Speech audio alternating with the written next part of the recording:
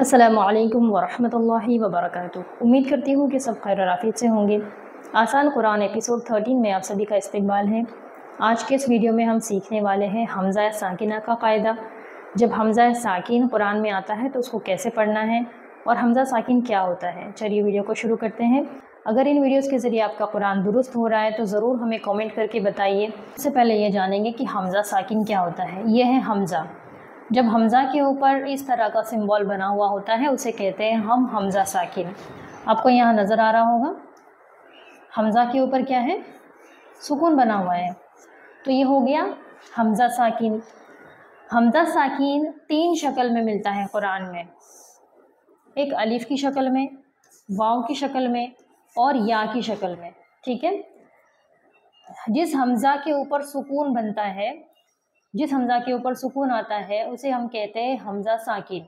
सुकून किसे कहते हैं? ये जो सिंबल यहाँ आपको नज़र आ रहा है, छोटा सा गुल, इसे कहते हैं सुकून और इसको दूसरा नाम है जज़म। जज़म भी कहते हैं और सुकून भी कहते हैं। तो जब हमज़ा के ऊपर ये सुकून आता है तो वो बन जाता है हमज़ा साकिन। और हमज़ा साकिन तीन शक्ल में मिलता है, अलीफ, वाव और या। जब कुरान में हमज़ा साकिन आता है, इस तरीके से आपको नज़र आएगा कि अलिफ़ की शक्ल में। यहाँ पर भी देखिए, अलिफ़ की शक्ल में, अलिफ़ के ऊपर छोटा सा हमज़ा बना है, फिर उसके ऊपर सुकून दिया गया है। यहाँ पर वाव की शक्ल है, वाव पर छोटा सा हमज़ा बना है, फिर वाव पर छोटा सा हमज़ा बना है और यहाँ पर सुकून दिया गया है। ये भी वाव की शक्ल है और यहाँ पर ये या की शक्ल में आया है। अलिफ, वाव और या, ये तीन शक्ल में आपको हमज़ा साकिन मिलेगा। हमज़ा साकिन को झटके से पढ़ा जाता है। झटका देकर पढ़ना है। जैसे यहाँ देखिए यह है हमज़ा साकिन। तो इसे झटके से पढ़ना है। मो मीनू मो मीनू ब ब, य, झटका देना है। य, ब, य। जैसे ये है श नु श नु श झटका। न, ती न, ती। न ती झटका। मु मीनू मु मीनू अब अक्सर लोग इसको पढ़ने में गलती क्या करते हैं? इसे पढ़ते हैं मो मीनू लेकिन ये क्या है? मु, पेश है यहाँ पर, मीम पर पेश है। मु मीनू मु मीनू और कुछ लोग ऐसे पढ़ते हैं मुह मीनू मुँह ह की आवाज़ नहीं आनी चाहिए, हमज़ा है। हमज़ा में अ की आवाज़ आती है ना? हमज़ा में अ की आवाज़ आती है। हमज़ा ज़बर क्या होता है? हमज़ा ज़बर अ। मुमिनु मुमिनु युक्ति युक्ति युक्ति युमिनु, झटका, युमिनु, शनु, नती, कस, ज़ोनी, ये ज़ोद है। ज़ोद ज़ोद ज़ोद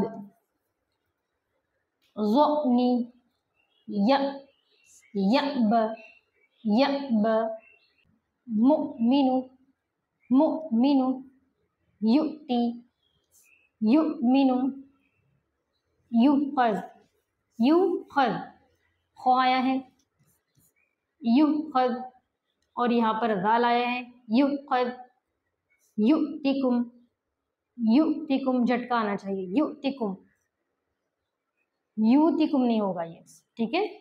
जित जित बिस शित विब बिर। जित बिस शित विब बिर। हमज़ा साकिन, तीन शक्ल में होगा अलीफ, वाव और या ठीक है? और हमज़ा साकिन को झटके से पढ़ना है। सबसे अच्छा एग्ज़ाम्पल इससे समझिए। मुमिनु और यु, मीनु। इसको कुरान में से हम देखेंगे। हमज़ा साकिना का एक एग्ज़ाम्पल यहाँ पर है। यहाँ हमज़ा जो है, अलीफ की शक्ल में आया है। यहाँ पर हमज़ा साकिन अलीफ की शक्ल में आया है।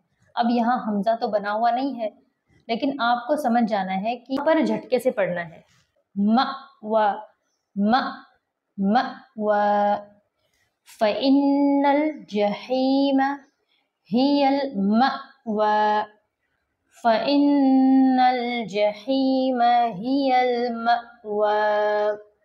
साकिन का और एक एग्जांपल देखते हैं यहाँ देखिए हमज़ा साकिन आया है वाव की शक्ल में यहाँ छोटा सा हमज़ा बना हुआ नज़र आ रहा है यु मीनून यु झटका आएगा यु मीनून ल यु मीनून फम लहुम ल यु मीनून यु मीनू यु मीनू मीनू बिल्लाहिल अजीज़िल हमीद यहाँ पर आया है बिलमुमिनीन बिलमुमिनीन हमजा साकिन झटके से पढ़ेंगे बिलमुमिनीन शुहूद इन्नल्लज़ीन फतनुल मुमिनीन मुमिनीन हमजा साकिन मुमिनीन वल मुमिनाती ये मु पढ़ना है मोमिना मोमिनीना वल मोमिनाती नहीं पढ़ना है ठीक है मुमिनीना पेश है यहाँ पर मीम को हमज़ा साकिन से मिलाकर पढ़ना है मु मीम पेश क्या होता है? मुँह होता है ना? मीम पेश मुँह मुमिनीना मुमिनीना वल मुमिनाती वल मुमिनाती इन्नल्लदीन फतनुल मुमिनीन वल मुमिनात जैसे यहाँ पर देखिए, फ़जअलहुम फ़जअलहुम कास्फिम झटका आया है, हमज़ा साकिन अलीफ की शक्ल में आया है। यहाँ पर हमज़ा ऐसे बना हुआ नहीं है। याद रखना, हमने शुरू की क्लास में ये पढ़ा था कि अलीफ हमज़ा कैसे बनता है। जब ये खाली होता है तो अलीफ होता है, जब अलीफ के ऊपर ज़बर, ज़ेर, पेश और सुकून आता है, जज़म आता है तो ये हमज़ा कहलाता है। जो अलीफ यहाँ पर है, ये हमज़ा ही कहलाएगा तो इसे हम हमज़ा साकिन कंसिडर करके पढ़ेंगे। मकूल मकूल फ़जअलहुम कअस्फिम झटका। मकूल मकूल नहीं पढ़ना है। कुछ लोग इसे पढ़ते हैं। मकूल या माकूल या महकूल। ह का भी आवाज़ नहीं आना चाहिए। म म मकूल इस आवाज़ को कॉपी करने की कोशिश करिए। फ़जअलहुम कअस्फिम मकूल मकूल